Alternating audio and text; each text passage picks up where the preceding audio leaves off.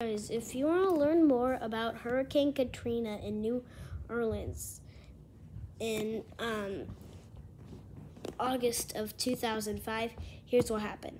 So it was a big Category 4 hurricane. It was in New the New Orleans area. It hit all over Louisiana.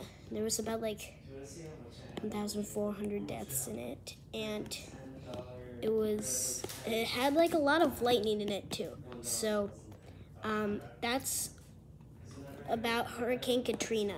Hurricane Katrina was a very important event, and um, it's a popular hurricane that, you know, even before people were born in, like, before 2005, people still just get interested in it because it's such an important event. So, um, thanks for watching this and learn more about it on news.